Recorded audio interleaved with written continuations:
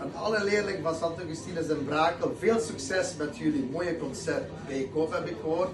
Veel motivatie, veel passie, lekker koken en lekker eten. Ciao amici van Pepe.